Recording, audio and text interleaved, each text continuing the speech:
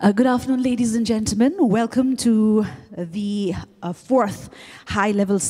أيها السيدات والسادة إننا الآن سنبدأ في الجلسة الرابعة المتعلقة بتعزيز أهداف التنمية المستدامة. أنا اسمي شيفاني وأنا أعمل في تلفزيون نيبال وأنا مكاني في كاتماندو ونحن لا نحصل على مثل هذه الفرص لكي نكون جزءا من تجمع العقول أقول هذا فإذا من دواعي سروري أن أكون معكم ونحن الآن سنتحدث إلى عدد من المتحدثين المتميزين ومن دواعي سروري أن أرحب بالمتحدثين الذين الآن يعتلون المنصة. أرجو منكم أن تأخذوا مقاعدكم وإن اللافتات التي تحمل أسماءكم موجودة هنا عند مقاعدكم ف أرجو أن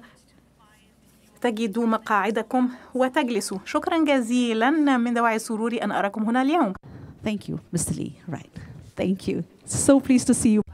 أنا سعيدة برؤيتي معكم برؤيتي لكم هنا اليوم. إذا دعونا نبدأ مباشرة. كما قلت هذه هي الجلسة الرابعة في جلسات اليوم والموضوع هو الوصول والابتكار من أجل تنشيط أهداف التنمية المستدامة. وكما تعرفون فإن أهداف التنمية المستدامة تلعب دورا رئيسيا في تجميع أطراف المصلحة أصحاب المصلحة من مختلف المجالات من أجل أن نخلق الزخم حول الجهود التي ترمي إلى تحقيق أهداف التنمية المستدامة. وهذا طبعا بصورة منصفة ومتساوية. لقد تحدثنا كثيرا عن هذا الأمر في الجلسات السابقة. تحدثنا عن أهداف التنمية المستدامة وما هي وضعية بعض هذه الأهداف وإلى ما وصلنا في تحقيق هذه الأهداف وما الذي نحتاج إليه من أجل أن نزيد من وتيرة أو سرعة التنفيذ. انعدام المساواة كما قال المتحدثون في الجلسات السابقة أمرا مستمرا وكلهم أجمعوا على أن هناك انعدام في المساواة مستمر كما أن هناك تحديات أخرى مثل تغير المناخ بالإضافة إلى المشاكل التقليدية التي تمثل تحديات مستمرة بالنسبة لنا. حتى نتمكن من تحقيق أهداف التنمية المستدامة التي حددناها لأنفسنا فإن هذا أمر يتطلب منا التغلب على هذه التحديات. هناك عدم مساواة في النفاذ إلى الفرص والخدمات الأساسية التعليم والصحة إلى آخره. وهذا يقف حجر عثرة في الطريق إلى تحقيق أهداف التنمية المستدامة. وكما قلت ف إن هناك حلول رقمية يمكن أن تساعدنا على تكسير هذه الهوة وأن نتغلب على عدة تحديات من ضمنها تغير المناخ وعوائق أخرى. وعندما نقوم باستخدام التكنولوجيات الرقمية من أجل تحقيق أكبر قدر من المنافع فإن هذا أمر يتطلب منا الالتزام بإدراج الحقوق في كل خطوة من الخطوات على سبيل تحقيق أهداف التنمية المستدامة. المساواة وعدم التمييز من الأماك من الأمور الرئيسية في هذا الصدد. ويجب أن تكون لدينا مجتمعات حاضنة للجميع ويمكنها أن تسمح بالتعبير حرية التعبير من ضمن أمور أخرى. فنحن إذا سننظر في هذا الموضوع أثناء هذه الجلسة التي ستمتد على مدار أكثر من ساعة. واسمحوا لي أن أقدم لكم المتحدثين في هذه الجلسة والمتحدث الأول هو سعادة السيد جون هوالي وكيل الأمين العام للأمم المتحدة للشؤون الاقتصادية والاجتماعية. أيضا من دواعي سرورنا أن تنضم إلينا السيدة كارولين إدشتادلر الوزيرة الاتحادية للاتحاد الأوروبي والدستور في النمسا. مرحبا بك. أيضا سعداء بانضمام السيد تشيلدزي مروالا رئيس جامعة الأمم المتحدة ونحن سعداء جدا بحضور السيدة ناناكو إيشيدو وهي أستاذة في كلية الدراسات العليا لتصميم وسائط وسائل الإعلام في جامعة كيو. معنا السيد محمد شريف وزير الدولة للبيئة والمناخ والتكنولوجيا في المالديف. مرحبا بك. أيضا سعداء بأن ينضم إلينا السيد مسانوري كوندو الأمين العام لجماعة آسيا والمحيط الهادئ للاتصالات. وأيضا سعداء بوجود السيدة ليز فور المديرة العامة للرابطة الأوروبية لمشغلي شبكات الاتصالات ETNO. وأخيرا وليس آخرا معنا السيد كوزو بواكي وهو نائب رئيس السياسات العامة لأفريقيا والشرق الأوسط وتركيا في ميتا. مرحبا بكم جميعا في هذه الجلسة. إذا دعونا نبدأ مباشرة ونطرح الأسئلة المحددة لهذه الجلسة. أنا سأطرح عددا من الأسئلة وسأطلب منكم الإجابة. أولا دعونا نبدأ بالسؤال الذي سيبدأ بالإجابة عنه وكيل الأمين العام للأمم المتحدة. ما هي بعض الأمثلة العالمية الحالية للاستفادة من الحلول الرقمية لتحقيق أهداف محددة من أهداف التنمية المستدامة؟ تفضل. شكرا. طاب يومكم جميعا. أنا سعيد بوجودي معكم هنا اليوم في هذه الجلسة للحديث عن هذا الموضوع. إن الأمور الرقمية مرتبطة بتحقيق أهداف التنمية المستدامة تقريبا جميع جوانب الأهداف. ونحن في الأمانة نؤمن أن الرقمنة هي فرصة سانحة في مجالات مختلفة وهي المفتاح الرئيسي لتحقيق أهداف التنمية المستدامة. من ضمنها الحلول الرقمية التي يمكن أن تؤدي إلى الإشراك المالي الحصول على الخدمات العامة بصورة فعالة وأيضا إنهاء جوع الحد من الجوع وعدم الوصول إلى التعليم. الأمر يتعلق بمعالجة التحديات البشرية المعقدة. إن الحلول الرقمية يجب أن تسترشد بالمبادئ والأولويات التي تضمنتها خطة 2030 للتنمية المستدامة إضافة إلى الحاجات التنموية للبلدان النامية. فنحن قمنا بوضعها إذا هذه الخطة ل 2030 ولكن ليس لدينا بيانات تشير ما إذا كان فعلا فعلا قد قد حققناها. وأن كل الأهداف أهداف 2030 باستثناء القليل منها قد حاد عن طريقه. في الأسبوع الماضي تم اعتماد إعلان سياسي بالإجماع. والتزمت الدول بتطبيق التدابير التي تسمح بردم الهوة الرقمية. بما في ذلك الاستفادة من الرقمنة وتوسيع مشاركة كافة الدول خاصة النامية منها. ولذلك فأنا مقتنع اقتناعا شديدا بأنه علينا أن نسخر فوائد الرقمنه لصالح البشر. شكرا لأنك تحدثت عن الرقمنه كأداة يمكن أن تساعدنا في تسخير الامكانيات الرقمنه من أجل تحقيق أهداف التنمية المستدامة. الآن نود أن ننتقل إلى السيدة كارولين اتشتاتلر وهي الوزيرة الاتحادية الاتحاد الأوروبي وأيضا الدستور. شكرا. نود أن أشكرك على هذا السؤال وأود أن أشكر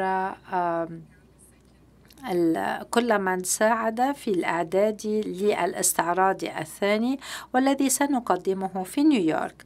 نحن نرى بأننا وصلنا إلى مرحلة حيث أننا كمجتمع دولي برمته لدينا ذكاء اصطناعيا بين أيدينا. نحن نستخدم هذا الذكاء في العديد من المجالات وبرأيي بأن هذه التكنولوجيا الصاعدة ستكون أداة أساسية في تطوير كافة القطاعات بما فيها حقوق الإنسان. ويجب أن نحرص على أننا سنستخدم هذا الذكاء الاصطناعي بشكل أفضل وبشكل يمكننا من اكتساب المهارات للحصول على المعلومات آه، وأيضا آه، عقد الاجتماعات. كل ذلك سيساعدنا على تبادل الآراء بشكل يسمح لنا بالحصول على المعلومات الضرورية. أيضا على الاجتماع بشكل سلمي. نحن قد وصلنا إلى مرحلة حيث أن كل شيء اختلف عن الطريقة التي كنا نفكر فيها منذ آه، أشهر معدودة. ولذلك نحن نرى بأنه لدينا معلومات خاصة وأن هذه التكنولوجيا يجب استخدامها بشكل أفضل من أجل اكتساب المعلومات الخاصة بالديمقراطية بحقوق الإنسان وكذلك من أجل فرض سلطان القانون في كافة البلدان. ونحن بحاجة إلى ذلك الآن أكثر من أي وقت مضى. شكرا. دعونا ننتقل إلى المالديف والتي آه، آه، تتأثر تأثيرا كبيرا بنواتج تغير المناخ. هل يمكن أن تقولوا لنا ما هي الطرق التي يمكن أن آه، الطرق التي تستخدمون فيها الأمثلة العالمية الحالية لإيجاد حلول رقمية لتحقيق أهداف التنمية المستدامة. أود أن أشكركم على آه، استضافتي هنا. عندما أنظر إلى أمثلة عالمية حول كيفية استخدام الرقمنة في تحقيق أهداف التنمية المستدامة. لدينا أولا الهدف الأول محو محو الفقر عفوا الجوع. إذا ما نظرنا إلى الإحصائيات لدينا أكثر من ملياري شخص في العالم ليس لديهم آه، حسابا مصرفيا. نحن نعرف من الممارسات بأن الوصول إلى الخدمات الرقمية هي طريقة من أجل انتشال الناس من حالة الفقر ولدينا العديد من المبادرات في هذا المجال. إذا ما نظرنا إلى قضية الجوع فنرى بأن الزراعة الذكية يمكن أن تستخدم التكنولوجيا الذكية مثل وأن الذكاء الاصطناعي والحوسبة والحوسبة السحابية وغيرها من التكنولوجيات يمكن تسخيرها في خدمة الزراعة. الذكية. الأمر الذي سيسمح لنا بتحقيق أهداف التنمية المستدامة. دعونا ننظر إلى الهدف التاسع. فنرى بأن حياة ميسورة وبنى تحتية ملائمة يمكن أن تساعد بلدان مثل بلدان مثل بلدنا لمشاركة بالاقتصاد الرقمي وأيضا تعزيز إمكانياتنا في التنافس. هذا لا يحصل فقط في الدول المتقدمة المتقدمة وإنما يمكن أن آه، وهو يحصل عفوا في الدول النامية حيث أننا نتم الاستثمار في هذه التكنولوجيات. في المالديف نحن نشدد على تعزيز أنظمتنا أو منظوماتنا الرقمية إنها من التكنولوجيات الأساسية التي نحتاج إليها من أجل تسريع آه، تحقيق أهداف التنمية المستدامة. نحن وكما سمعنا آه، من المتحدث الذي آه، آه، سبقنا فنحن متخلفين عن الركب. وكأننا فاتنا أن أن نقوم بذلك في الماضي. أعتقد بأنه يجب إعطاء الأولوية للاقتصاديات الرقمية والأمر الذي سيسمح لنا بتحقيق الهدف الأول وهو محو الجوع. وأيضا من أجل التوصل إلى المساواة فيما بين آه، الجنسانية. فإذا ما نظرنا في أيضا الهدف التاسع نرى بأنه يمكن آه، مساعدة على تحقيق هذا الهدف من خلال البناء أو وضع البنية التحتية الرقمية. آه، مثلا لدينا أيضا التمويل الرقمي لدينا أيضا الزراعة الرقمية. كلها يمكن أن تسمح في تسريع مسيرتنا نحو تحقيق أهداف التنمية المستدامة.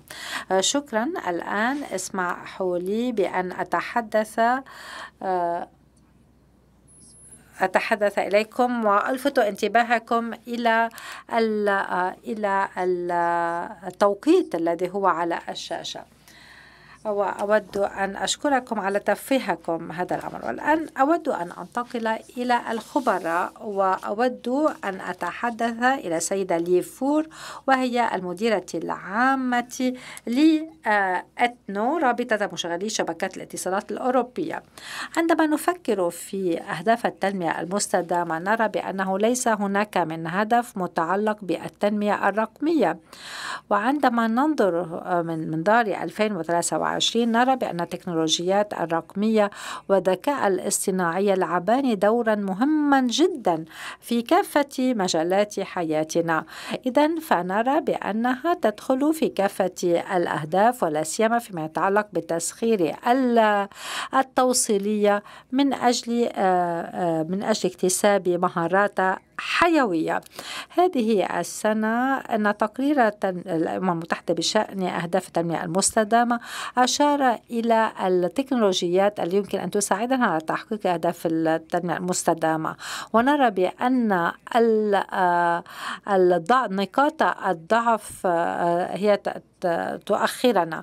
مثلا الهدف الرابع فيما يتعلق بالتعليم آه، نرى بأنه يمكن أيضا أن يدخل في الهدف الثامن وكذلك الهدف العاشر.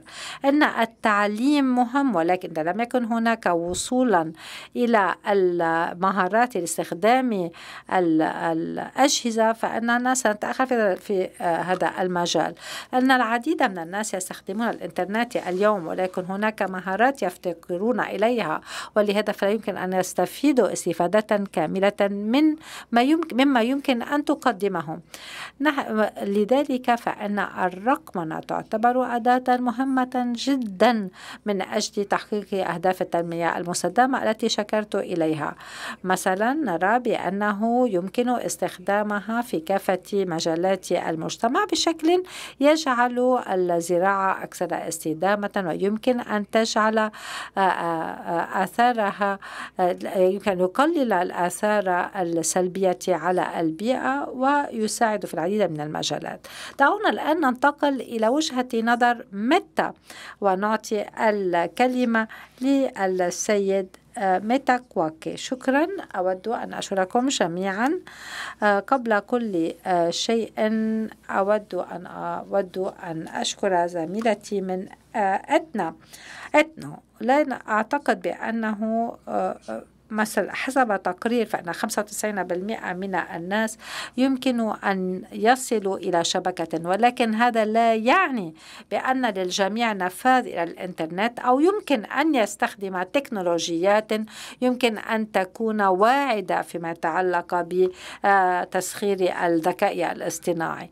إذا آه، هو أعني هنا الوصول إلى الموجة العريضة وغيرها من الأمور. سأعطيكم أمثلة عن الطريقة التي التي يمكن للتقنيات أن تساعدنا في تحقيق أهداف التنمية المستدامة. الميتا تعمل في مجال التكنولوجيات في السنوات الماضية. أنا كنت قد تحدثت عن استثماراتنا في هذا المجال. هناك ناحية جانبية استفدنا منها. عندما فهمنا تركز كثافة السكان حتى لو كان لدينا بيانات لم تكن تقول هذه البيانات أين يعيش معظم الناس. كانت تعطينا فكرة عامة ولكن لم نكن نعرف أين يتكثف وجودهم. نحن استخدمنا التكنولوجيا من أجل التوصل إلى خرائط الكثافة السكانية بالتعاون مع جامعة كولومبيا. وبعد ذلك فتحنا المصدر المصادر فيما يتعلق بهذه الخرائط. الآن الجميع يستخدم هذه الخرائط من البنك الدولي وحتى الجامعات إلى آخره لكي نعرف تأثير ولها تأثير في بالنسبة لتحقيق أهداف التنمية المستدامة.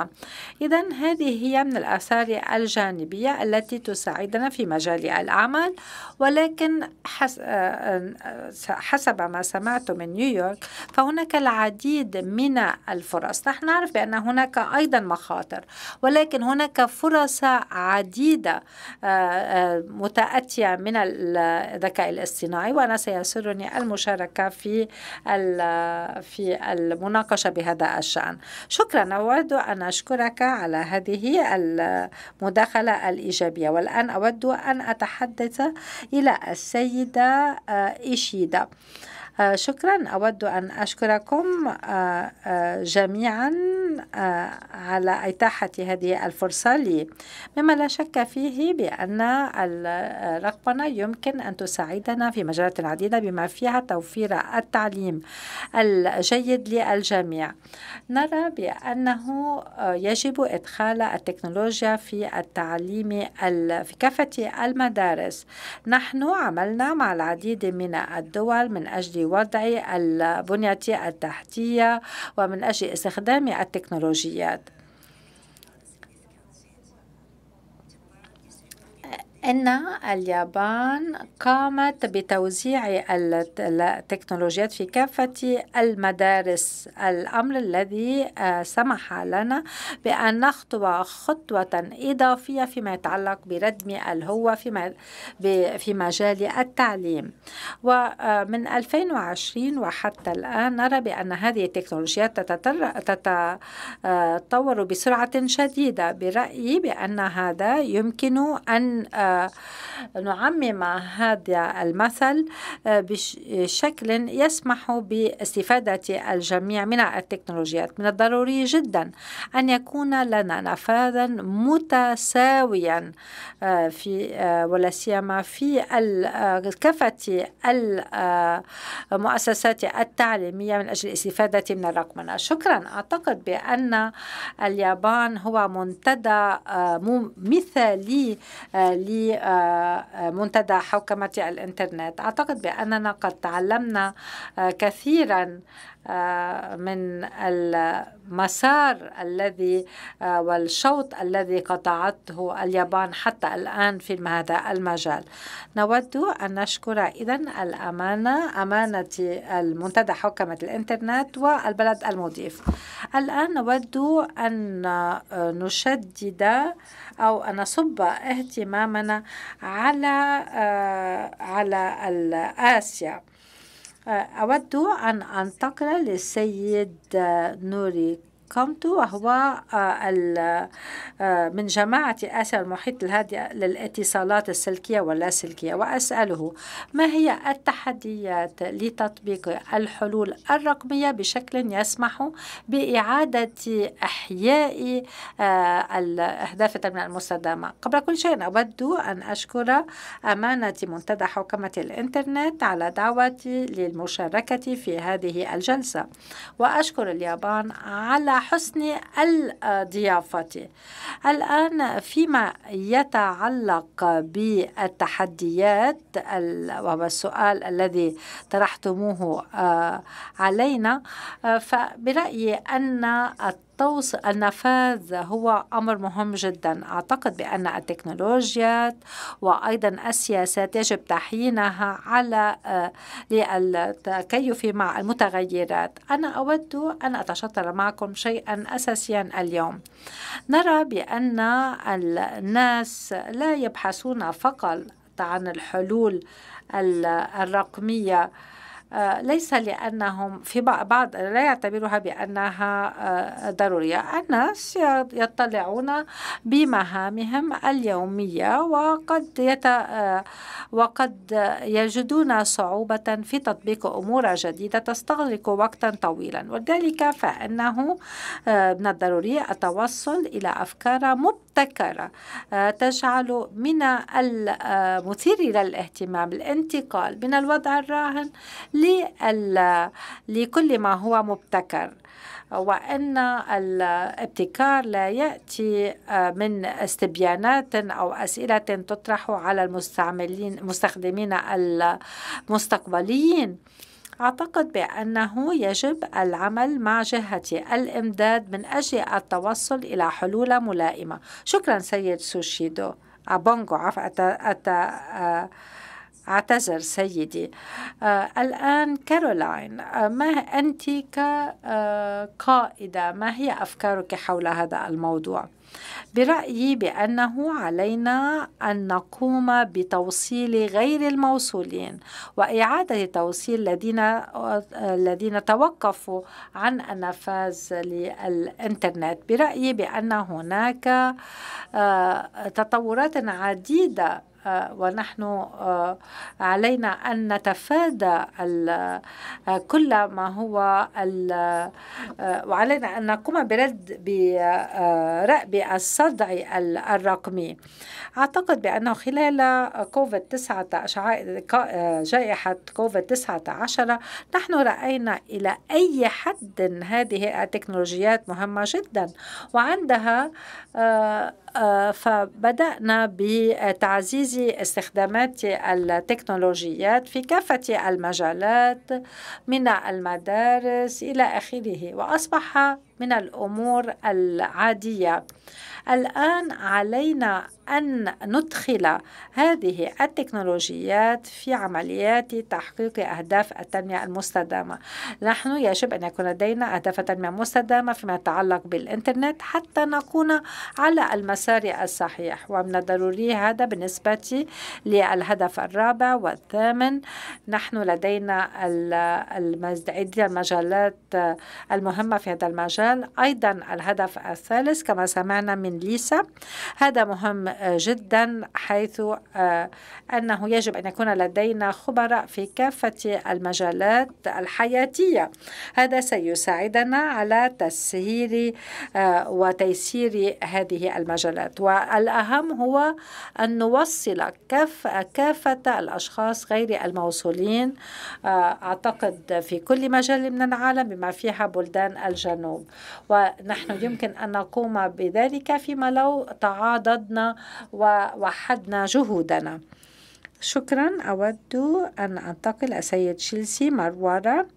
نحن سمعنا من وضعي السياسات وأيضا من الخبراء. برأيكم ما هي التحديات بالنسبة لاستخدام التكنولوجيات لإعادة إحياء تكنولوجيا آه آه أهداف التنمية المستدامة؟ شكرا. أعتقد بأن هناك تحديين قبل كل شيء. الحوكمة. مما لا شك فيه بأنه بالنسبة للحوكمة المبادئ هي بسيطة. يجب أن نعظم فوائد الذكاء الاصطناعي وأن نقلص إلى أكبر حد مساوئها. نحن سمعنا عن الهدف الأول والثاني أيضا عن الصحة والتعليم. هذا أولا. ثانيا هناك قضية النفاذ. عندما نتحدث عن النفاذ فنحن نعني بذلك النفاذ إلى البيانات. أنا كنت مديرا في جامعة جوهانسبرغ خلال جائحة كوفيد عندما طلبنا من الناس أن يبقوا في منازلهم. رأينا بأن ليس الجميع لديهم إمكانية النفاذ إلى الإنترنت بل كان عليهم آه، أن يشتروا آه، رزومات ألف طالب حتى ينفذوا إلى الإنترنت. وثالثا لدينا النفاذ إلى التكنولوجيات. آه، فاليوم سمعنا عن البيانات تدفق البيانات فيما بين الدول وعبر عبر الحدود. علينا أن لا ننسى ذلك. هذا هي من ناحية أولى. من ناحية أخرى التكنولوجيات. ما هي الأجهزة؟ وأعود إلى إلى تجربتي في في جامعة جوهانسبرغ. نحن كان علينا أن نكتسب أجهزة جديدة في غضون وقت قصير. إذا نحن علينا أن نحرص على تدريب كافة الدول ولا سيما البلدان الصغيرة حتى تتمكن من اللحق اللحاق بالركب. آه، وأيضا حتى تتمكن من آه، اكتساب التكنولوجيات الملائمة لهذه آه، لأيامنا هذه. شكرا سيد مروالة نحن نعرف بأن أهداف التنمية المستدامة مهمة جدا للرفاهية والمساواة وأيضا حل مشاكل عديدة. هل يمكن أن تلقوا الضوء على ما هي أهداف التنمية المستدامة التي تحتاج إلى الحلول التكنولوجية. نحن متخلفين فيما يتعلق بكافة الأهداف التنمية المستدامة. فقط 5% من هذه الأهداف التنمية المستدامة آه، أو مؤشراتها قد تم التوصل فيها إلى بعض التقدم.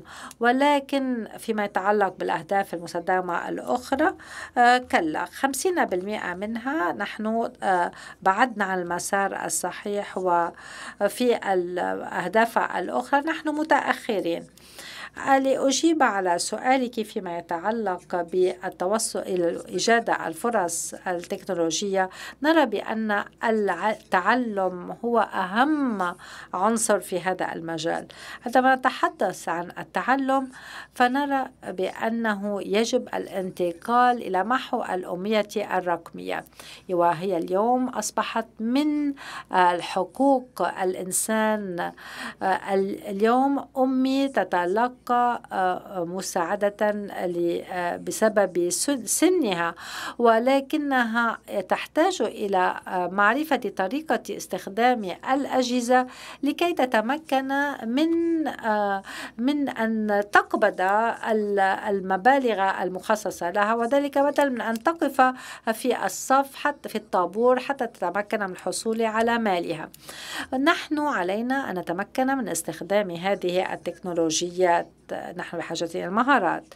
هناك مسألة أخرى متعلقة بالبيانات. البيانات آه، يقال بأن البيانات هي البترول الجديد النفط الجديد. أنا لا أحب هذه المقارنة ولكن آه، آه، علينا أن نفهم بأن البيانات هي من السلع الأساسية اليوم. نحن بحاجة إليها حتى نتمكن من الاستفادة منها. طبعا لدينا قضية ال IP بروتوكول الإنترنت.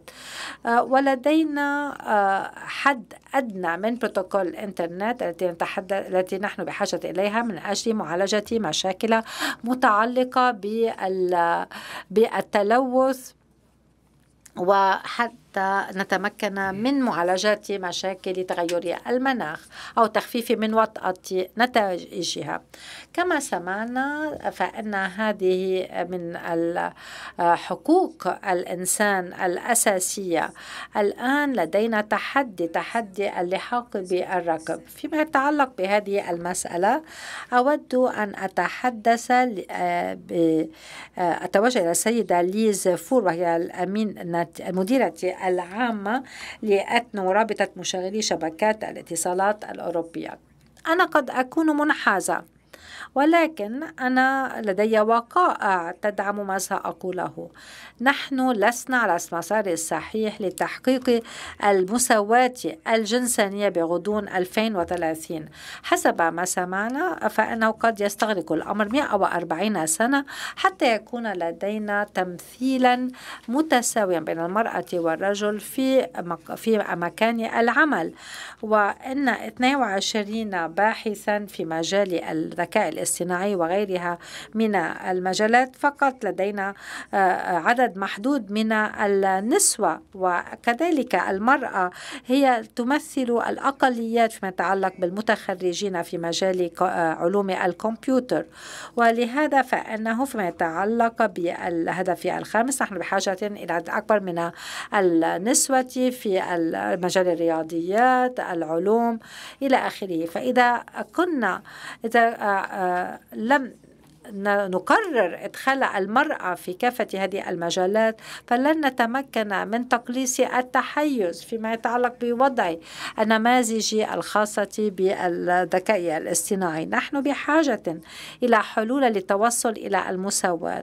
إذا نحن نرى بأن الأجهزة الذكية مهمة للمرأة لكي تتمكن من التواصل مع الغيرين ولذلك فنحن بحاجة إلى التعليم وإلا أن الفجوة بين الرجل والمرأة لا تزال تتسع في هذا المجال. أيضا بالنسبة لبنية التحتية والابتكار نحن سمعنا عن الهدف التاسع. هذا أمر مهم جدا. نرى بأن 95% من العالم لديه آه، آه، نفاذ للنطاق العريض من الجيل الثالث. آه، ولكن النفاذ أمر أمر صعب جدا والتوصيلية هي جزء من هذه العملية. ولذلك فإنه يجب توفير المهارات للجميع.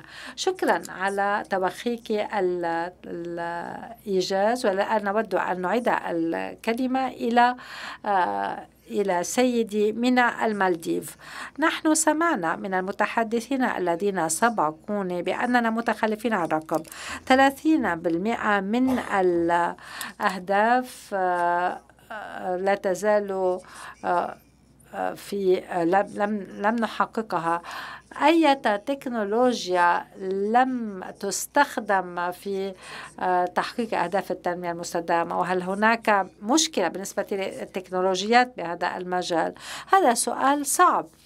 من المثير للاهتمام أن ننظر في الإجابات التي يمكن أن آه، أعطيت هذه آه، في هذا الصدد برأيي أن الأهم هو أن نحرص على ألا يتخلف أي شخص عن الرقم. إذا ما أخذنا مثلا المالديف لدينا أكثر من 15% من الناس الذين لا يستخدمون الإنترنت. أكثر من 7% من السكان ليس لديهم آه، هواتف ذكية.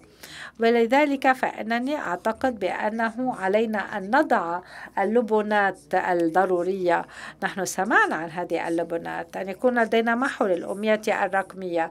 تحقيق الهدف الخامس حتى يكون لدينا النصف الآخر من سكان الأرض موصولين حتى نتمكن من تحقيق الأهداف بحلول 2030 فقط نصف السكان يعملون وأنهم لن يتمكنوا من العمل وتحقيق الأهداف فيما لهم لا تتوفر لهم المهارات. ولذلك فإنه علينا أن نركز على على السكان المحتاجين. يجب أن نفكر في الشمولية الرقمية وأيضا النفاذ الرقمي حتى يتم تدعيم أهداف التنمية المستخدمة بالتكنولوجيات. نحن نتحدث عن تقنية الكتل المتسلسلة للذكاء الاصطناعي وغيرها من الأمور. فإن التكنولوجيات الرقمية يجب أن تبدأ مع الناس حتى يتمكنوا من المشاركة في هذه العملية. كيف يمكن أن نحرص على أن الخمسة عشر بالمئة من في المالديف سيلحقون بالركب وأن سبعة بالمئة الذين يفتقرون إلى هواتف هواتف ذكية سيتمكنون من استخدامها من أجل الزراعة الذكية وغيرها من الأمور وإيجاد الأدوات لرفع التحديات. في آخر المطاف الأمر مرتبط بالتعاون المطلوب من طرف أصحاب الشأن نرى اختلافهم من أجل بناء الأسس على مستويات آه، صحيحة وإشراك المجتمع المدني وكذلك الحكومات والصناعة أيضا والجامعات شكرا. سيد كوجوبوي كما طباعك بشأن كل هذا. أريد أن أصحح شيئا لأنني عندما سأنزل سيصححني أحدهم. نعم هناك جزء من أهداف التنمية المستدامة يتحدث عن النفاذ الشامل للإنترنت والهدف تسعة جيم يتحدث عن الموصولية الكاملة للجميع للإنترنت على غرار زملائي تفاؤلي ليس غير محدود بالنسبة لما ينتظرنا من خطوات. ف أهداف التنمية المستدامة كما تعلمون مترابطة الواحد بالآخر. لا يمكن الحد من الفقر بدون العمل على البيئة. ومسألة أخرى هي مسألة الشركات نعلم أن الهدف 17 يتحدث عن الشركات في الاستدامة. نحن نحتاج إلى شركة في كل أهداف التنمية المستدامة. وأقول ذلك عندما أتحدث عن الشراكة مع ميتا. ميتا قد قامت بتطوير آه، خرائط كثافة السكان وكذلك حلول قائمة على الذكاء الاصطناعي وهذا جزء آه، سيكون له تأثير على أهداف التنمية المستدامة. وقمنا أيضا بإبرام شراكات مع أكثر من 700 مؤسسة مع البنك الدولي مع منظمات دولية منظمات الهجرة. مفوضية الأمم المتحدة للاجئين وكذلك مع المؤسسات الأكاديمية والجامعات. وبفضل كل هذا التعاون قمنا بعدد من برامج آه، إصحاح الماء برنامج التلقيح برامج المياه الشروب في ملاوي آه، في رواندا في زامبيا آه، خرائط كهرباء في أماكن نائية في بنين والصومال إلى آخره. أعتقد أن هذه الحلول ستفيد أفريقيا كثيرا.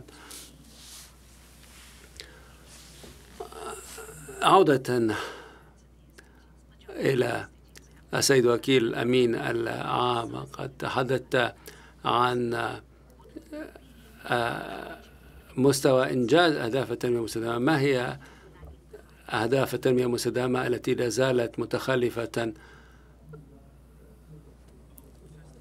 أولا دعوني أقول لكم أو بالنسبة للأمم المتحدة أو بالنسبة لجميع الدول الأعضاء فيها الأهداف السبعة عشر كلها متساوية في الأهمية. وبالفعل هذا بسبب سلسلة من العوامل. ولكن في الوقت الراهن هناك بعض الأهداف أو الغايات تخلفت عن بقية الأهداف الأخرى مثل الهدف الرابع المتعلق بالتعليم والنساء والفتيات والفقر. هو الحد من الفقر.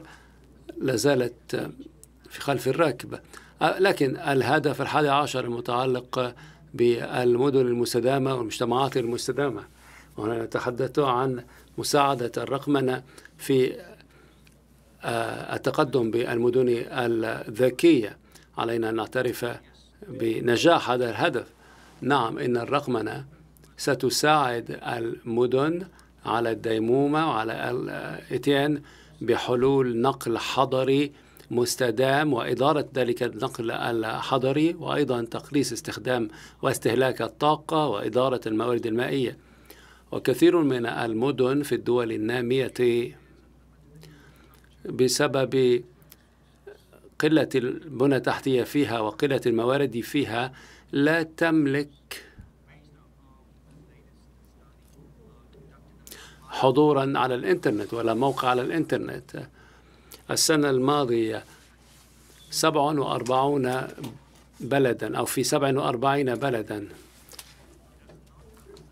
المدينة الأكبر والأكثر عددا من حيث السكان لا تملك حضورا على الإنترنت.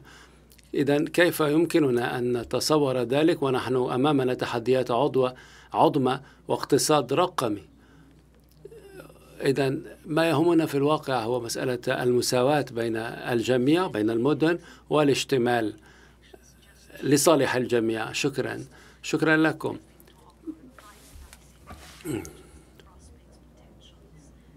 ونحن نتحدث عن التحديات وعن التطلعات وعن اللامساواة وعن التفاوتات. السيد إيشيدو ما هو الخطر الذي يمكن أن يصطحب تطبيق الحلول الرقمية وال كيف يمكن التقليل من هذه الحلول؟ أنا أعتقد أن الخطر الأول هو مسألة التنوع في استخدامات التكنولوجيا الرقمية. التقدم التكنولوجي سريع بشكل كبير ولا سيما في مجال الذكاء الاصطناعي الإنتاجي. و الشركات العالمية أيضا مثل ميتا لها دور في ذلك بالطبع طريقة وأنماط التفكير مختلفة بين هذه الشركات العظمى ولذلك فقد تستخدم تطبيقات الذكاء الاصطناعي بشكل متفاوت مختلف بين هذه الشركات حسب طريقة إدراكها لها وإيمانها بها.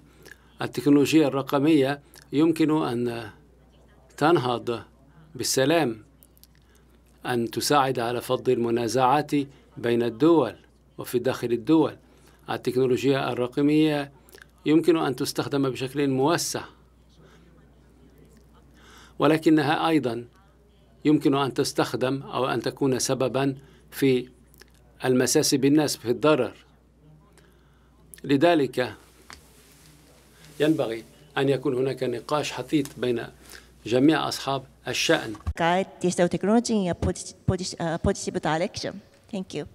ولذلك ينبغي أن نوجه هذه التطورات للاتجاه الصحيح الذي نرجوه جميعا.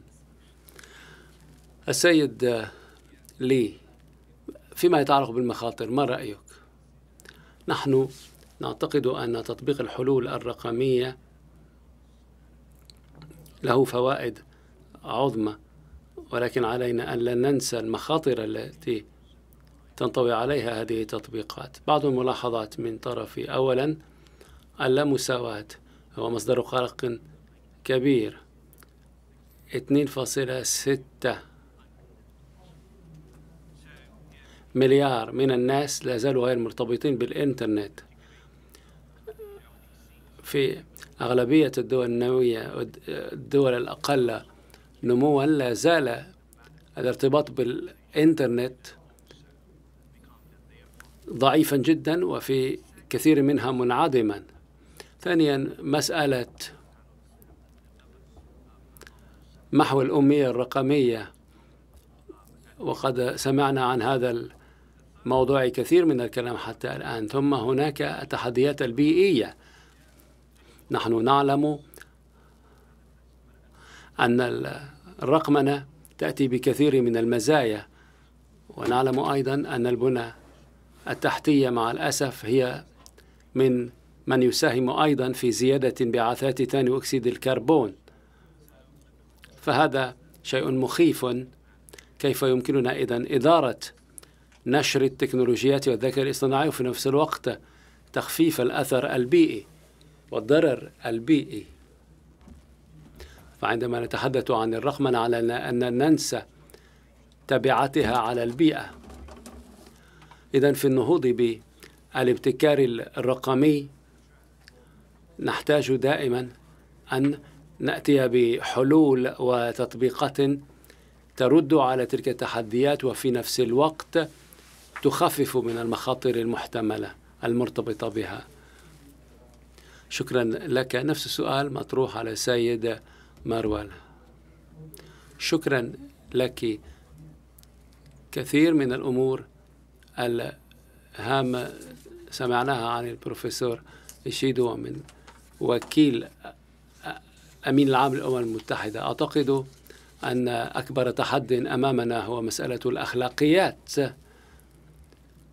إن كمية التدهور البيئي الذي تتسبب فيه مراكز البيانات الضخمة data center.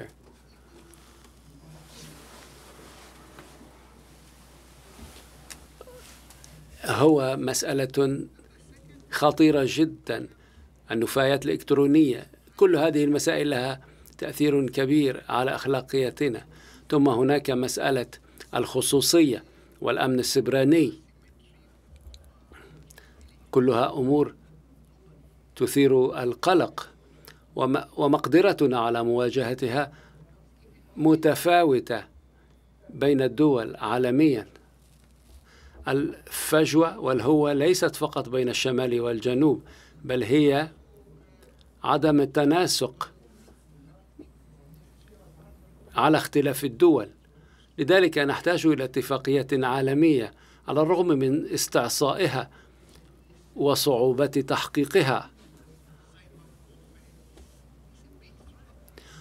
فاحتمالية نشوب حرب سبرانية هي مهدد وخطر كبير. ومسألة النفاذ والوصول للإنترنت مسألة هامة جدا ولكنها رهينة بتكلفة التكنولوجيا إذا ينبغي العمل على التكلفة حتى يكون هناك وصول متكافئ لهذه التكنولوجيا إن أردنا أن نرفع التحديات التي وصفنا. وأخيرا وليس أخيرا مسألة تثقيف التعليم غير موفر بشكل منصف ومتكافئ للناس في كل أنحاء العالم. تثقيف صناع القوانين مسألة هامة. ينبغي أن يكون من ضمن اهتماماتنا وتحدياتنا أيضا. شكرا.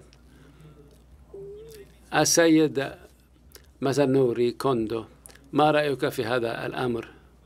فيما يتعلق بالأمن السبراني عندي جانب جانب آخر أريد أن أتقاسم معكم. التحديات عالمية بالفعل ولا يوجد مشروع واحد بإمكانه أن يحل الإشكال لوحده.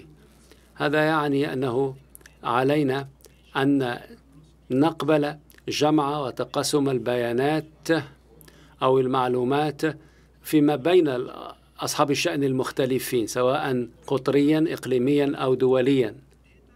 في المستقبل.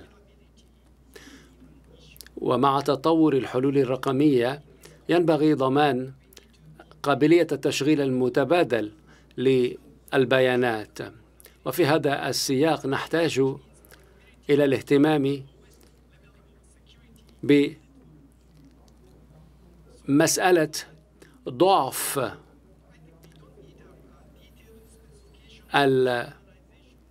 السياق أو النسق الرقمي وجعله في أدنى حد ممكن. أعتقد أن وضع المعايير لذلك سوف يسهل علينا المأمورية ومأمورية التعاون في وجه أول. شكرا. السيدة ليز ما هي انطباعاتك؟ لقد قلنا إن الرقمنة تساهم في تحقيق كل أهداف التنمية المستدامة.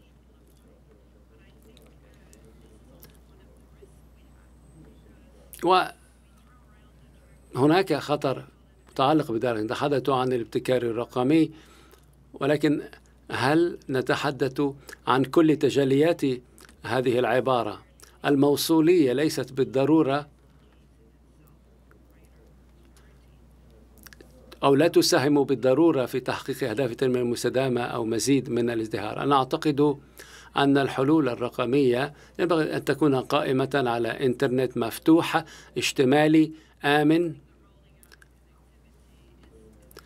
وضامن لحقوق الإنسان.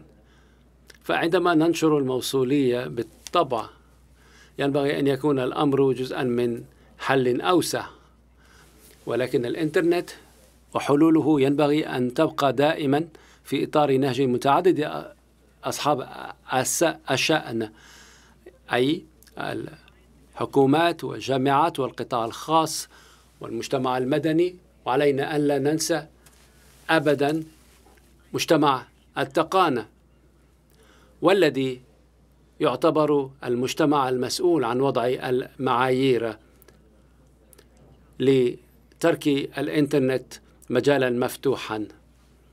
ونحن في هذا المنتدى نريد أن نعمل عن أو في إيجاد السبل لجعل الإنترنت وإبقائه مفتوحا كما هو معروف اليوم. ونحتاج إلى توجيه الابتكارات والحلول نحو التوجه الصحيح في المستقبل حتى تكون الحلول ويكون الابتكار مفيدا للجميع. شكرا. السيد محمد شريف من طباعاتك شكرا. كم متمرس في هذا المجال من بين التحديات التي تواجهني بالإضافة إلى مدى تعقد التكنولوجيا الابتكار الرقمي الذي نتحدث عنه والذكاء الاصطناعي وتكنولوجيات الفضاء كلها صارت عالية التقانة وعالية التعقد. وكلها تنطوي على كثير من المخاطر بما في ذلك مخاطر الأمن السبراني مخاطر الخصوصية في البيانات ولا سيما في سياق الدول الجزرية النامية أو سياق سياق الدول النامية عموما. هناك فقر كبير في الخبرات. ثم هناك بالطبع المخاطر المالية. فغالبا ما نرى أن هناك نزعة في ذر الأموال الباهظة فيما يسمى بثقب تكنولوجيا المعلومات الأسود. آملين بأن يعود علينا ذلك بكثير من المزايا والفوائد والواقع هو أنه يعود علينا بعكس ذلك. فبالطبع هناك الأثر على البيئة وآثار سلبية أخرى. فكلما زاد الاستثمار في التكنولوجيا كلما زادت التداعيات المالية علينا كيف حللنا المسألة في مالديف؟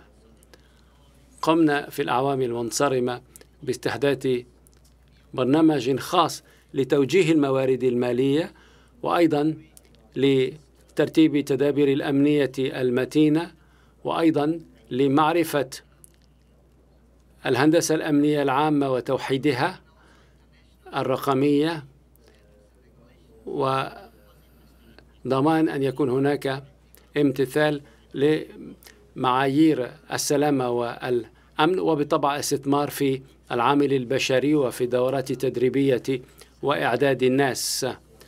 قبل أسابيع حضرت إحدى الحلقات الدراسية في مجال الأمن السبراني وأحدهم قال لي ليس من المستصوب أن يتم تبني أفكار جديدة من الشركات الناشئة وتحويلها إلى واقع من خلال قرار حكومي.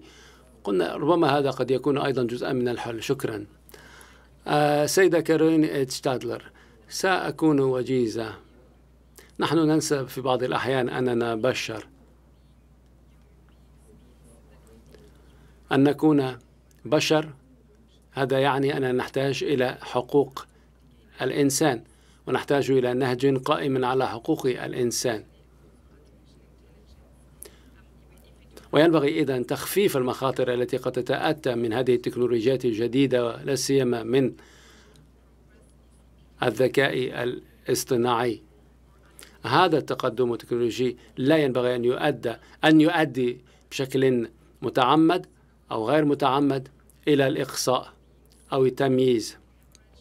نحن كبشر نحتاج تقريبا إلى مئة سنة من أجل التكيف وتكنولوجيا جديدة. أما فيما يتعلق بالإنترنت فلقد تأقلمنا معه في نصف المدة في خمسين سنة فقط. فينت سيرف كان قد ابتكر الإنترنت قبل خمسين سنة ونحن الآن نستخدمه بكل يسر.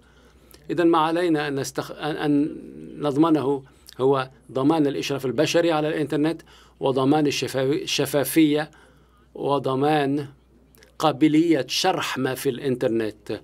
إن استخدمنا هذا الأسلوب فسنبقى دائما على مقدرة في استخدام الإنترنت في كل مجالات أهداف التنمية المستدامة وفي كل المجالات المجتمعية. شكرا. أحسنت سيدتي. لا سيما وأن الجانب البشري العنصر البشري. ينبغي أن يكون المركز لا سيما ونحن نشهد هذا التقدم المتسارع للذكاء الاصطناعي. شكرا لك. أصل الآن لسؤال ما قبل الأخير.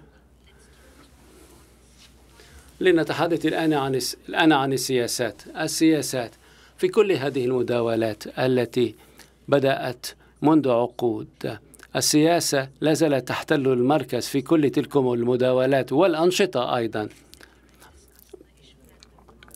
استعجال العمل مطلوب بالفعل لأننا نفتقر إلى الوقت من أجل تحقيق الأهداف التي وضعنا لأنفسنا. لا سيما وأن هناك تحديات جديدة تبزغ هنا وهناك.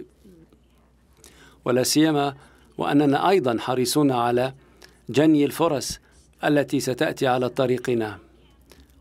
في هذا السياق السيد مازانوري كوندو كيف يمكننا أن نحشد مزيدا من الدعم لصالح الابتكارات الرقمية والحلول الرقمية ولجعلها تساهم في تحقيق أهداف التنمية المستدامة شكرا لك.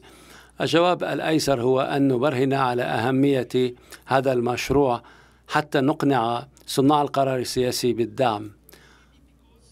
إذا قد يعتقد البعض أن مثل هكذا دعم واجب ولكن هل نريد القيام به؟ ربما قد نشعر بوجوبه عندما نرى الحاجة بأعيننا أو عندما نشعر بالرضا عندما يمتلنا أحد بأداء الواجب أو عندما نرى أن الواجب عندما ينفذ يغير الواقع.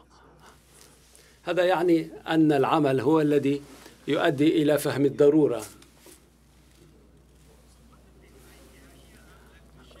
والفكرة التي أريد أن أتقاسمها معكم هذه فكرتي أنا هو أنه قد نحتاج إلى استحداث أدوار جديدة أدوار سفراء النوايا الحسنة لصالح أهداف التنمية المستدامة الرقمية. فكرة أخرى. القيام بعملية مكافحة القرصنة أو بسياسة عامة لمكافحة القرصنة الرقمية. هاكاثون.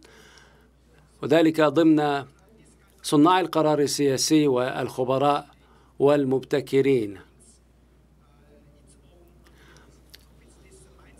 إذا إن كانت هذه عقليتنا فربما قد ننجح في إقناع أصحاب الأمر في تدعيم مثل هذه المشروعات ماليا. شكرا. لنستمع الآن إلى رأي الخبراء في هذا الأمر من السيد كوشوبوكي. السيدة الميسرة هل لك أن تكرري السؤال من فضلك؟ آه لم أسمعك ربما بسبب المسافة. أنت خبير. هل لك أن تكرري السؤال رجاء؟ أنت أيضا لم تسمعني. إذا إذا السؤال هو كيف كيف نحشد مزيدا من الدعم في هذه الحلول والابتكارات الرقمية من أجل التصدي لتحديات أهداف التنمية المستدامة. لا أستطيع أن أجزم وأقول إننا نحتاج إلى مزيد من الدعم من طرف صناع القرار السياسي في الأسابيع المنصرمة كنت في غانا في الأردن في مصر في نيويورك وهنا في اليابان. وأشعر أن هناك زخما كبيرا من الدعم. وأوافق ما ما قاله زميلي. ما نحتاجه هو أن نبرهن على جدوى هذا العمل والبروفيسور من اليابان أيضا شدد على أهمية المداولات والمشاورات بين الحكومات والجامعات والقطاع الخاص وأكبر الفاعلين فيها من أجل أن نعرف كيف نحرك هذه التكنولوجيات وننشرها. فهناك حاجة في الاعتراف بالفرصة الماثلة أمامنا وفي نفس الوقت التغلب على المخاطر. السيد بروفيسور مصطفى سيسي من المدرسة الأفريقية لعلوم الرياضيات قال إن التكنولوجيات التي يخشاها الناس والذكاء الاصطناعي لا زال في مرحلة الفتوة. أعتقد وأنا لست مهندسا أننا لم نصل إلى مرحلة التطوير الحقيقي للذكاء الاصطناعي. فهناك التزام طوعي من طرف الولايات الأمريكية لصالح الذكاء الاصطناعي. في العربية السعودية مثلا هناك نهج للتقدم بحلول للأخلاقيات في الذكاء الاصطناعي. أيضا هناك حلول بصدد التطوير وأعتقد أن هناك كثير من الشركات من عدادها ميتا وشركات أخرى التي تعمل جاهدة من أجل إقناع الحكومات على أنه يجب أن ننتهز هذه الفرصة أمامنا. شكرا. شكرا. السيدة ناناكو إيشيدو. شكرا.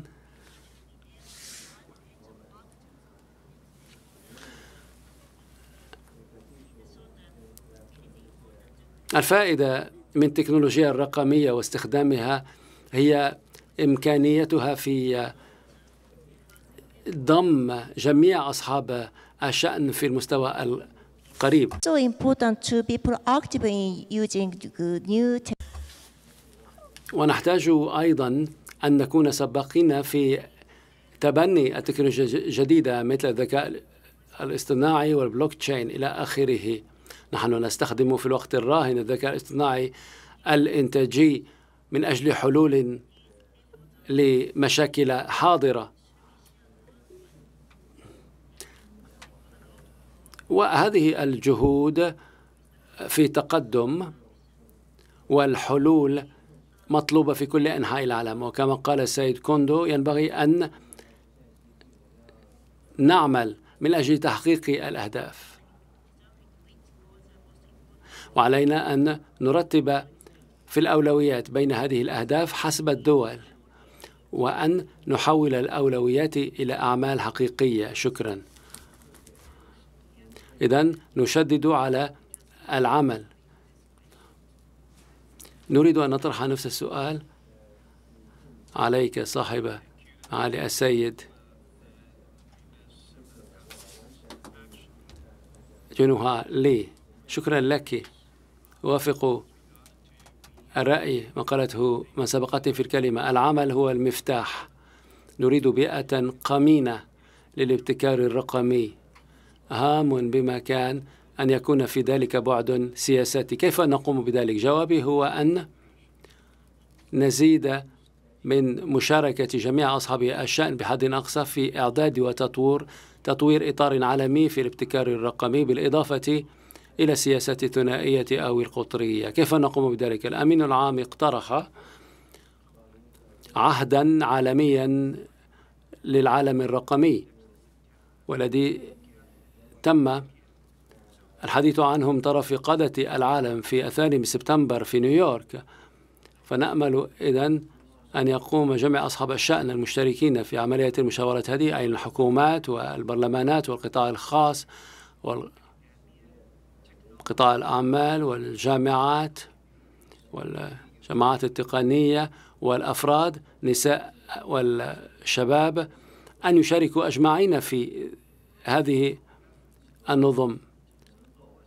أي أن نجمع بين قوانا ومقترحاتنا حتى نضمن بيئة أفضل للابتكار الرقمي.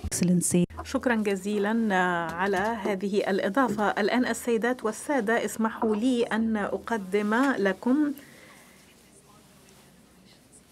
عددا من المتحدثين الذين سيساهمون بأفكارهم. اسمحوا لي أن أدعو السيدة جول فورتي من التلفزيون الكاريبي لكي تنضم إلينا لكي تقوم ب تيسير هذه الجلسة. شكرا جزيلا على تيسيرك لهذه الجلسة وأنا أريد أن أطلب من السيد إرنستو رودريغيز إرنانديز نائب وزير الاتصالات في كوبا أن يأخذ الكلمة.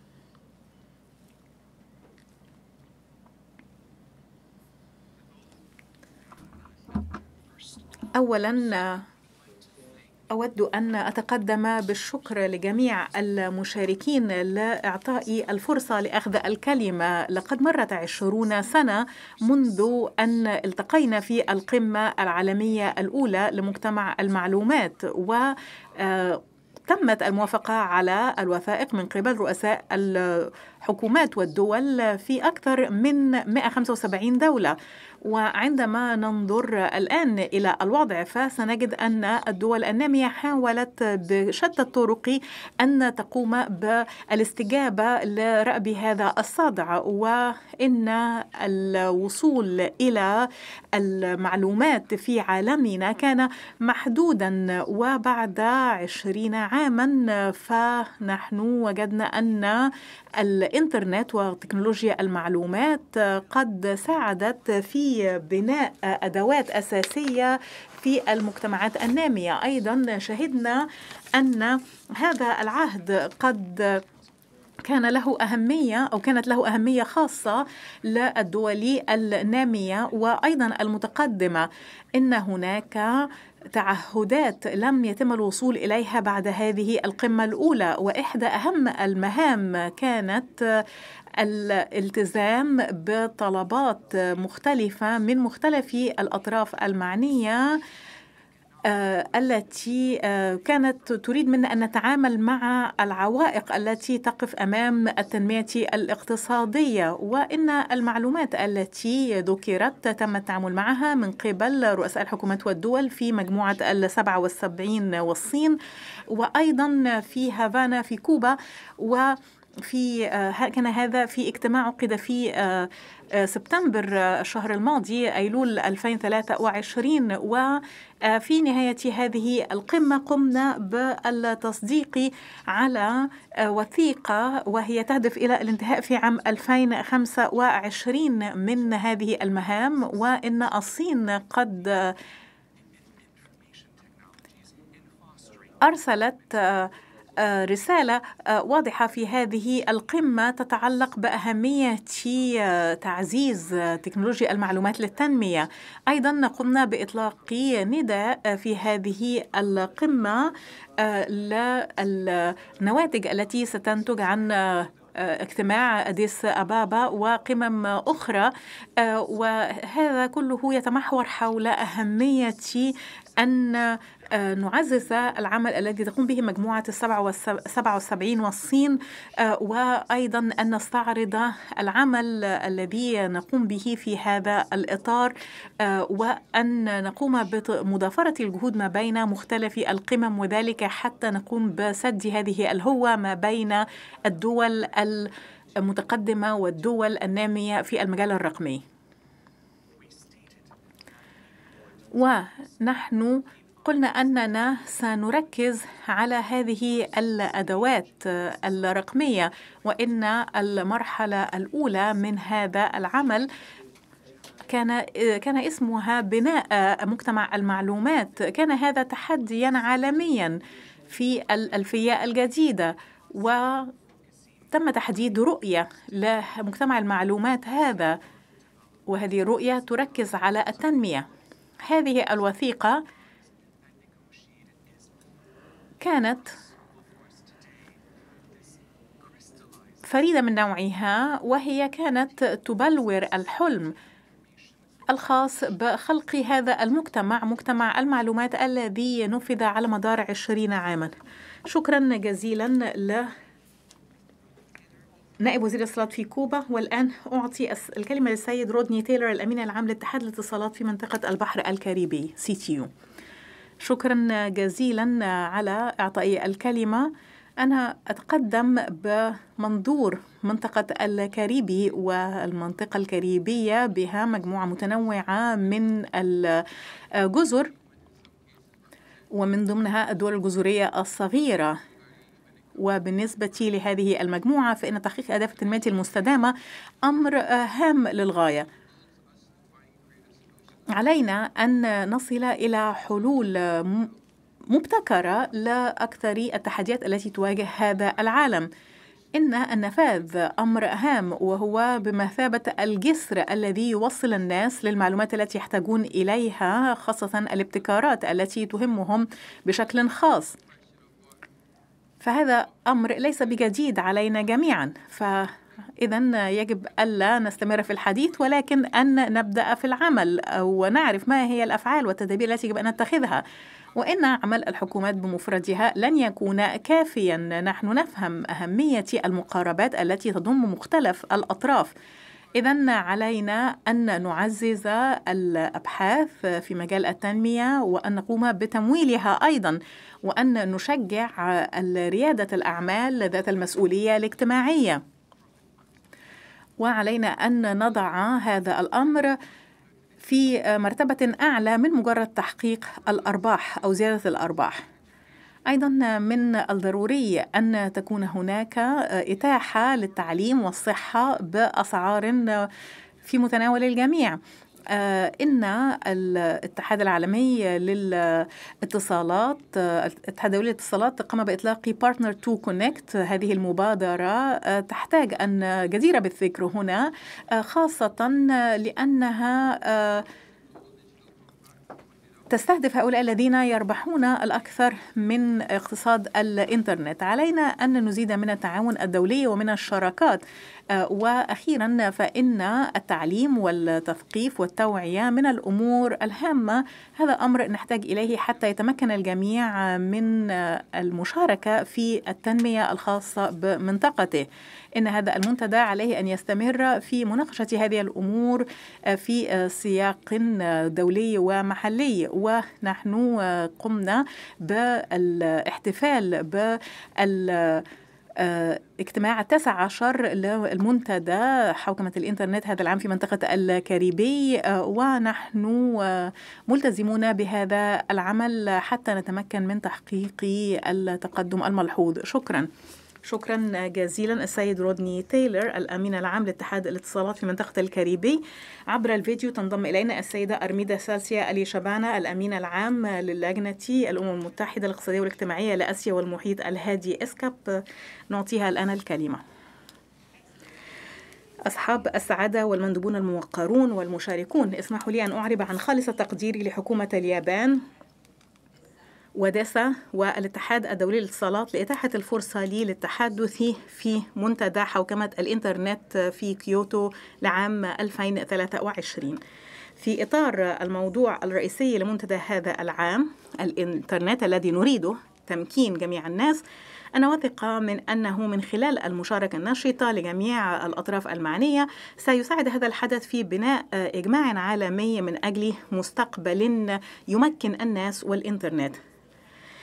في حين أن التوصل التوصيل الرقمي يجلب مكاسب رقمية كبيرة للمجتمع إذا لم يتم تقاسم المكاسب بشكل منصف سيكون من الصعب معالجة المخاطر. ولذلك يسعدني أن أرى أن الموضوعات الفرعية الثمانية التي تم اختيارها للمنتدى في هذا العام كلها مواضيع آنية ولا سيما المواضيع الفرعية المتعلقة بتكنولوجيات الذكاء الاصطناعي والتكنولوجيات الناشئة والفجوات الرقمية والشمول.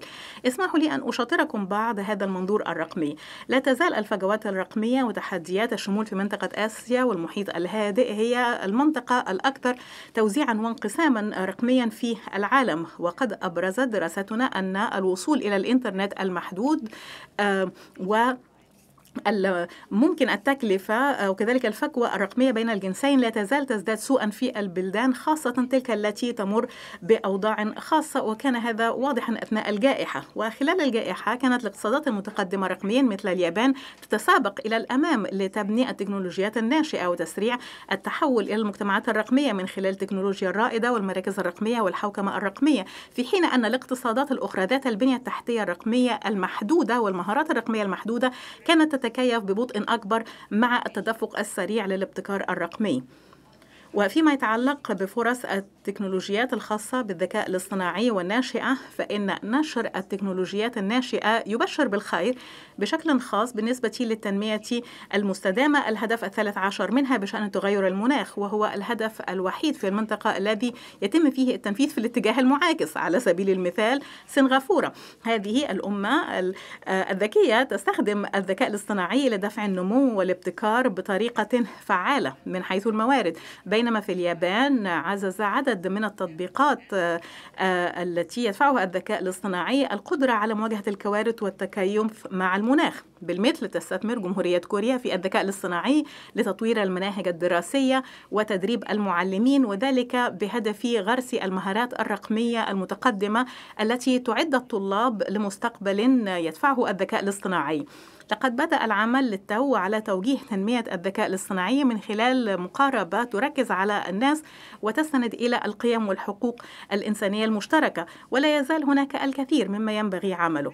وعلى الرغم من بطء وتيرة المقاربات متعددة الأوجه لأصحاب المصلحة المتعددين والمقاربات المتعددة الأطراف والفوضى في كثير من الأحيان فإن لدينا أمل أنه في المستقبل سنتمكن من التطوير الذي نصبو إليه. ومن الآن فصاعدا أختتم بثلاث رسائل. يجب أن نضاعف جهودنا نحو سد الفجوة الرقمية الآخذة في الاتساع من خلال زيادة الاستثمار في البنية التحتية للتوصيل الرقمي الجاهز للبيانات الكثيفة في المستقبل. أيضا نحتاج إلى تعزيز محو الأمية الرقمية والمهارات التي تشمل القيم الإنسانية الأساسية الخاصة باستخدام الإنترنت بطريقة مسؤولة. وأخيرا بحاجة نحن إلى تعزيز التعاون بين الحكومة والقطاع الخاص وأصحاب المصلحة الآخرين في هذا الصدد.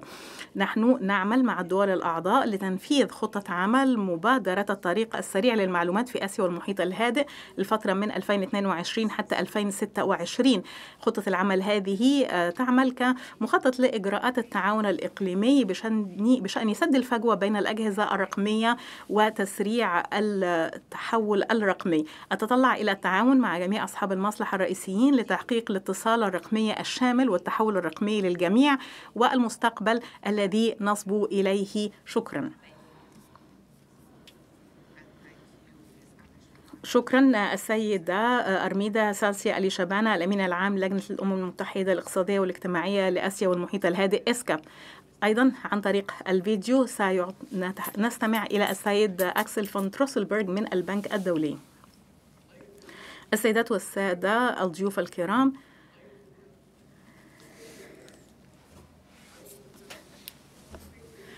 يتكرر الفيديو يتكرر حديث السيد أكسل السيدات والسادة الضيوف الكرام. يبدو أن هذه محادثة من الذكاء الاصطناعي وليس من شخص. يبدو أن هناك إذا مشكلة فنية ولكن سأعطي الكلمة لزميلتي هنا وعندما تتم حل هذه المشكلة الفنية سنقوم بعرض الفيديو مرة أخرى. طبعا إن المشكلات الفنية تحدث في إطار العالم الرقمي. السيدات والسادة كان هذا من دواعي سروري أن نتمكن من إعطاء الفرصة للمتحدثين رفيعي المستوى للمشاركة في هذه الجلسة. وطبعا يمكن أن نختتم هذه الجلسة من خلال إعطاء الكلمة للمتحدثين من أبعد المتحدثين عني إلى أقربهم لي لكي يعطونا كلمات ختامية. ما هو الوقت المتاح لدي؟ لديك دقيقتان سيدي. إذا سأحاول أن أجمع الأمور أن الجميع في هذه القاعة ومنهم من أيضا تواصلت معه على مدار الأسابيع الماضية والأشهر والسنين الماضية كلهم يؤمنون بأن هناك فرصة سانحة لنا بالنسبة للتكنولوجيا من أجل تحقيق أهداف التنمية المستدامة. هناك طبعا مخاطر تشكلها أو تمثلها الجوانب الفنية. أيضا هناك من لا يمكنه الوصول إلى الإنترنت 2.6 مليار شخص لا يمكنهم الوصول إلى الإنترنت. والزملاء من اي بي تي قالوا أننا نحتاج إلى أن نقنع الكثيرين أو الكثير من الإقناع الذي يجب أن نقوم به حتى نعطي الفرصة للتكنولوجيا لكي تؤدي دورها. وجزء من هذه المسؤولية تقع على عاتق الشركات شركات مثل شركاتنا. أيضا من الضروري أن نقيم الحوار السياساتي في أوروبا وفي أفريقيا وفي الشرق الأوسط وآسيا طبعا. فنحن نريد أن ندفع في اتجاه العمل واتخاذ التدابير. إن زملائي من الاتحاد الدولي للاتصالات ومن أماكن أخرى قالوا أن هذا ليس وقت الحديث ولكن وقت العمل. فنحن لا نريد أن نتوقف عند مرحلة التحليل. علينا أن ننطلق إلى مرحلة التنفيذ. شكرا. أنا أريد أن أعطي دقيقتين لكل متحدث فالآن أعطي الكلمة للسيدة ليز من إدنو. شكرا إنها من الفرص الرائعة أن أشارك في هذه الجلسة وأكون من ضمن المتحدثين. هذه فرصة لكي نتوقف ونفكر كيف يمكن أن نعيد إحياء أهداف التنمية المستدامة. إن هذه الأهداف قد حددت منذ عدة سنوات وقد تغير العالم أكثر مما توقعنا. مررنا بجائحة ومجتمعاتنا وخدماتنا الصحية وأيضا البنى التحتية الرقمية كلها تعرضت لنفس الاختبار. فإذا نحن علينا أن نحاول أن آه نأخذ في الاعتبار أن التكنولوجيا والأبحاث والعقول النيرة تمكنت من أن تخترع لقاحات لكوفيد في وقت قياسي. رأينا كيف أن هناك إمكانات كثيرة للذكاء الاصطناعي. كلنا استخدمنا مثل هذه الأمثلة في منازلنا لكي نرى مدى إمكانياتها. آه نحن لازلنا بالرغم من ذلك آه أمامنا طريق طويل حتى نصل إلى تحقيق أهداف التنمية المستدامة. آه فإذا علينا أن ننظر في الابتكار الرقمي. إنه ليس الحل الوحيد ولكنه بالنسبة لي من الحلول ممكنة التي لم تأخذ حقها في التقدير. نحن علينا أن نشرك جميع الأطراف المعنية ونحتاج إلى التعاون ما بين كل هذه الأطراف المعنية. شكرا جزيلا. سأعطي الكلمة للسيد كوندو بعد قليل لأن وصلني خبر سار. يمكننا الآن أن نقوم بتشغيل الفيديو من السيد أكسل فان تروسنبرغ من البنك الدولي المدير التنفيذي للبنك الدولي. السيدات والسادة الضيوف الكرام إنه لمن دواعي سروري أن أخاطبكم في افتتاح منتدى حوكمة الإنترنت لهذا العام في كيوتو. أتوجه بخالص الشكر إلى منظمي هذا المنتدى حكومة اليابان والأمم المتحدة على دعوتنا إلى هذا الحدث وعلى الشراكة طويلة الأمد مع البنك الدولي بشأن الأجندة الرقمية. نحن ندرك أن التحديات العديدة التي يواجهها العالم اليوم أصبحت أزمة متشابكة وأن جدول الأعمال الرقمي عليه أن يؤدي دورا في حل هذه الأزمات. بذل البنك الدولي جهودا كبيرة لانتشال مليار شخص من براثن الفقر في العقود الثلاثة والأربعة الماضية. لكن جائحة كوفيد 19 أدت إلى انتكاسة للنمو الاقتصادي والحد من الفقر. يتطلب آه، تجديد التقدم في كفاحنا ضد الفقر والتصدي للعديد من التحديات والأزمات العالمية نهجا جديدا. هذا هو السبب في أننا نتحرك لتوسيع نطاق تمويلنا ومعرفتنا وبياناتنا وشراكاتنا لنقدم كل ذلك. إن التكنولوجيا الرقمية تؤدي دورا متزايدا في التنمية. جنبا إلى جنب مع الناس والازدهار والكوكب والبنية التحتية فإن الرقمنة أو الرق... المهارات الرقمية هي واحدة من القطاعات الخمسة التي تهدف إلى توصيل عملنا بشكل أكثر وضوحا وتهدف أيضا إلى وضع المعرفة في صميم أعمال البنك. فإن الأمور الرقمية والتكنولوجيات الرقمية هي الفرصة التحويلية بالنسبة لنا وهي قوة دافعة للتنمية وخلق وظائف جديدة وفتح أسواق جديدة وخلق الفرص وتحسين كفاءة الحكومة وشفافيتها نحتاج أيضا إلى أن ننتبه إلى خطر الاستبعاد والإقصاء واتساع الفجوة الرقمية وتفاقم فجوة الفقر. إن جدول أعمال التنمية الرقمية يتطلب حلولا تقنية وأسسا سليمة لإدارة الإنترنت والمساحات الرقمية في العالم. ما يقرب من 2.6 مليار شخص لا يزالون غير متصلين بالإنترنت. يستخدم أكثر من 90% من السكان في البلدان مرتفعة الدخل الإنترنت. كان هذا في عام 2022 مقارنة ب 25% فقط في البلدان منخفضة الدخل. كثير من الناس ليست لديهم المهارات الأساسية لاستخدام الإنترنت بشكل فعال. وهناك ما يقدر بنحو 150 مليون وظيفة تكنولوجية جديدة ستخلق على مدى السنوات الخمسة المقبلة. 850 مليون شخص يفتقرون إلى أي شكل من أشكال آه، العمل آه، مع الأمور آه، التكنولوجية. هو هذا يحرمهم من الكثير. هناك أيضا الحلول الرقمية التي لا تزال مجزأة في العديد من البلدان مما يعني فرص ضائعة لتقديم خدمات حكومية فعالة وبشكل بشكل موسع ولكن مجرد تطوير الحلول التقنية لن يكون كافيا لأن الأساس الرئيسي للقطاع الرقمي هو الثقة لا يمكن لهذه الثقة أن تنمو إلا عندما يستند استخدام التقنيات إلى أسس رقمية مفتوحة وشاملة وآمنة وأيضا صلبة.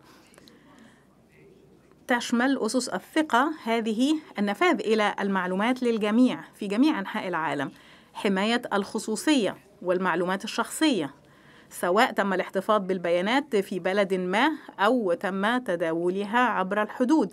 أيضا تقليل مخاطر التعرض للاحتيال أو الاختراق من قبل مجرمي الإنترنت وأيضا حرية الجميع في المشاركة عبر الإنترنت. إذا تمكنا من النهوض بهذه الأجندة أو جدول الأعمال هذا فإن التكنولوجيا الرقمية ستزيد من قوتنا لدفع التنمية البشرية والاقتصادية والاجتماعية قدما. ستكون هناك منفعة عامة عالمية تخدمنا جميعا. أنا أشعر بالرضا أن أرى الخبراء وممثلي الحكومات والقطاع الخاص والمجتمع المدني يجتمعون جميعا في منتدى حوكمة الإنترنت في كيوتو.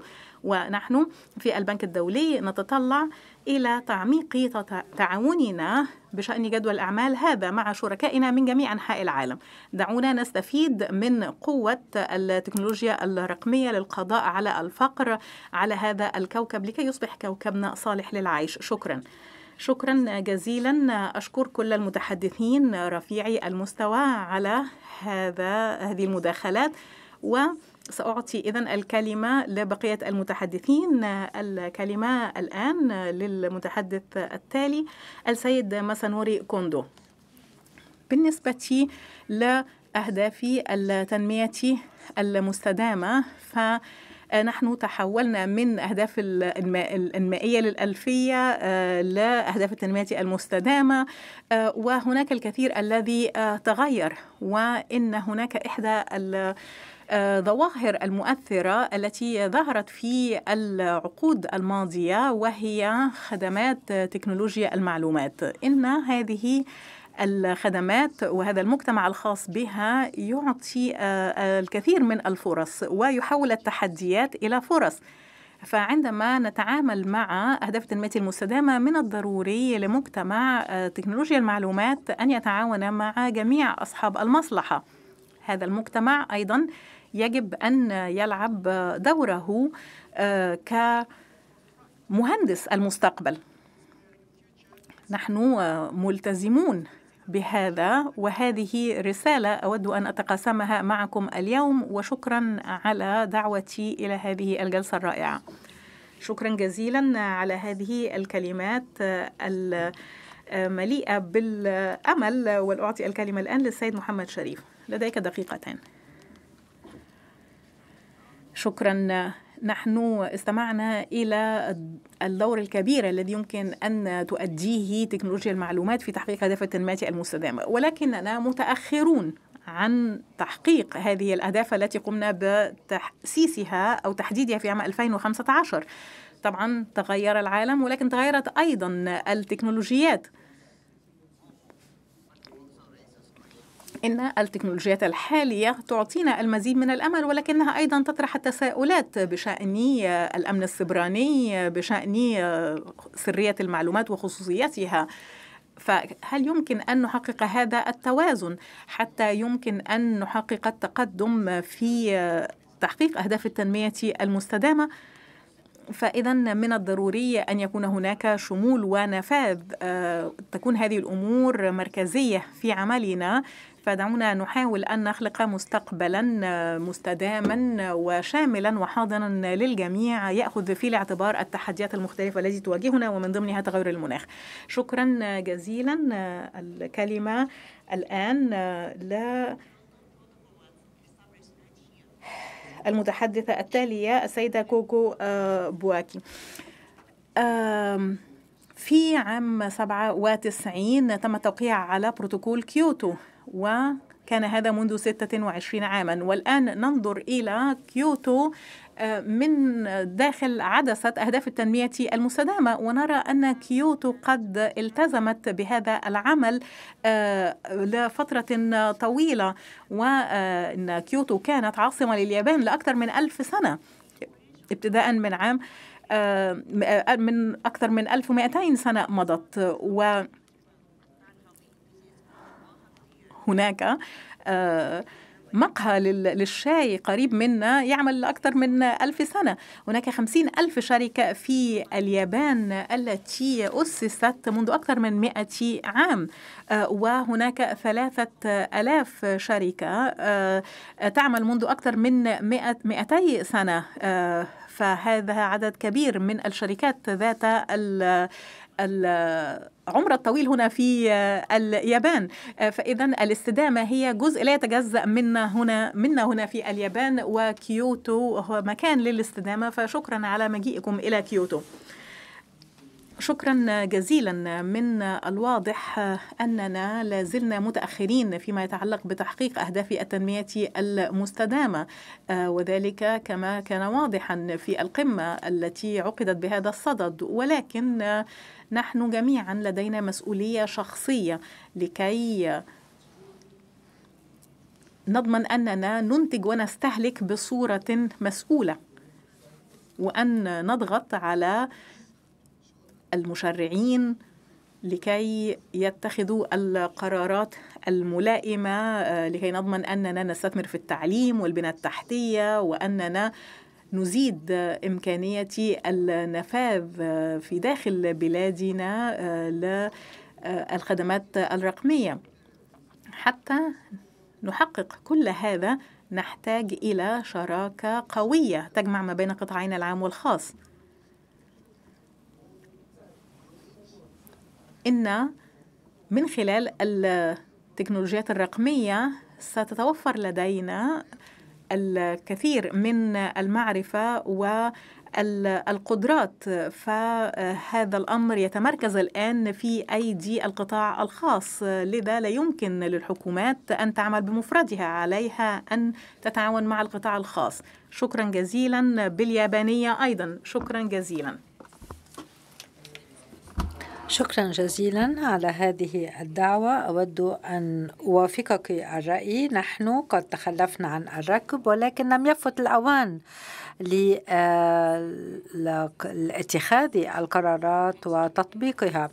وأود أن أقول بأن هذه اللحظة هي مهمة جدا. طبعا التحديات ترافقها الفرص. والتغييرات وأود أن أقول بأنه علينا أن ننتهز هذه الفرصة حتى حتى نتخذ التدابير. وأود أن أقول بأنه يجب الحرص على الديمقراطيات وأيضا الحريات وذلك عن طريق العمل مع البرلمانيين آه، والحكومات. أنا هنا أمثل الحكومة نمساويات أود أن أقول بأنه يجب أن نتخذ القرارات والأمر يعود لأعضاء البرلمان لاتخاذ هذه القرارات ووضع القواعد. هذا ما نقوم به اليوم. نحن نتشاطر التجارب وأيضا أيضا التوقعات. ونحن آه، يجب أن أن نتفادى أن يلقى اللوم علينا. فنحن قد آه، أنجزنا الكثير ولكن عندما آه، نفكر في الرقمنة وما قد حصل آه، خلال خلال الجائحة علينا أن نستفيد من تجربتنا وألا نتأخر في تطبيق ما يمكن تطبيقه. نعطي إذا الآن الكلمة للسيد جوالي. تفضلوا أمين ألو... وكيل الأمين العام. نحن يسعدنا أننا استمعنا للجميع منذ ثماني سنوات. كان القادة قد اتفقوا على إطلاق العنان لخطة 2030 حتى لا يتخلف أي شيء عن الركب. آه، لدينا أمل لقد حان الوقت للتغيير. كيف يمكن أن نعيد أحياء الأهداف التنمية المستدامة بما لا شك فيه بأن الرقمنة والتكنولوجيا ستسمع ستساعدنا في ذلك. كيف نحقق ذلك؟ أولا عن طريق وضع تطبيقات خاصة بأهداف التنمية المستدامة وتركز على أهداف وغايات التي لها علاقة بالدول النامية يجب أن نحرص على المساواة والشمولية. كأهداف من بين أهداف الرقمنة الثانية بناء البنى التحتية وأيضا بناء القدرات الرقمية. ويجب أن نركز خاصة على طريقة على كيفية ردم الهوة وفيما بين الدول ولا سيما البلدان الأقل النامية وأيضا البلدان الجزرية الصغيرة والبلدان الأقل نموا. ويجب أن نفكر كيف يمكن أن نركز على مصالح المجتمعات المحلية حتى تسهم في الاقتصاديات. وأخيرا تعزيز التعاون الرقمي فيما بين الدول. ويجب أن نحرص على أنه لدينا نفاذا آه، رقميا لكافة الدول وكافة الأفراد بشكل متساو حتى نتمكن من تحقيق الرفاهية لهم جميعا. شكرا. أعتقد بأن هذا يغطي الأسئلة فيما يتعلق بالتحديات وكذلك الثغرات التي تح... التي غطيناها اليوم. وأعتقد بأن هذا مهم جدا بالنسبة لكافة أصباح أصحاب المصلحة. ويسعدني الآن أن أختتم هذه الجلسة المثرية وأشكر كل مشاركا في هذه الجلسة. شكرا على وقتكم القيم وعلى القيمة التي أضفتموها على هذا هذه الجلسة. بهذا نود أن نقول لكم نحن نريد أن نمهد الطريق إلى الأمام. لدينا ما شك فيه بأنه لدينا تحديات ولكنه آه، كل التطلعات تطلعاتنا هي لتحسين الأمور في المستقبل. بما لا شك فيه بأن هذه الجلسة ستسهم في الحلول وطبعا التكنولوجيات ليست آه، ليست الحل السحري. إذا ما أردنا أن ننظر في الحلول الرقمية وكيف يمكن أن تساعد في التنمية. وأيضا نعتقد بأنه إذا وضعنا استراتيجيات الملائمة لذلك فإننا يمكن أن نتجنب ما لا نريد أن يحصل. نسخر الأفكار والابتكارات وأيضا تسخير التعاون فيما بين أصحاب المصلحة. آه هذا كله سيساعدنا في تحقيق أهدافنا. وبهذا أختتم هذه الجلسة. شكرا على الحاضرين وأود أن أشكر كافة أعضاء هذه الجلسة وأطلب منهم أن يتكرموا آه في الوقوف في يسار هذا المسرح بغية التقاط صورة جماعية وأدعو السيدة جول للانضمام إليهم وشكرا.